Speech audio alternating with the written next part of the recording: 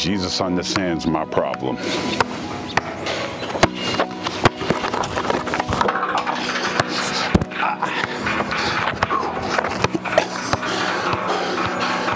Jesus understands my pain. Ah.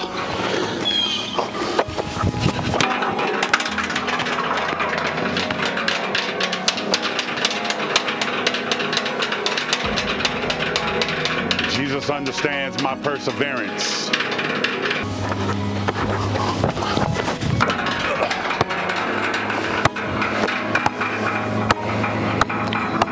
Jesus understands my praise. He's worthy, y'all. God bless you. The purpose of this video is because we all deal with uh, situations. We all have problems, but Jesus understands them. We all have pain, but Jesus helps us through our pain. And he also gives us the strength to persevere.